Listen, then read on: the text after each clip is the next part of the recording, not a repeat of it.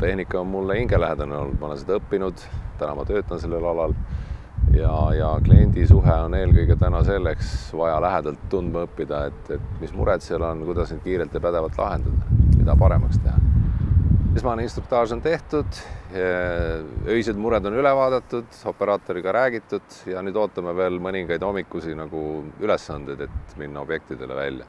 Käed on valged, kindad on kaasas, tööd ei karda no täna on meil üks hooldus on praegult ette nähtud, hoolduskliendi juures ette nähtud, siis on äh, paar, paar objekti tehniliste probleemidega ja noh, nagu ikka, iga päev toimub see töö no,. töövarjupäevi on ikka vaja, siis on näha, millised objektil on probleemid, see toob selle töö lähemale inimestele.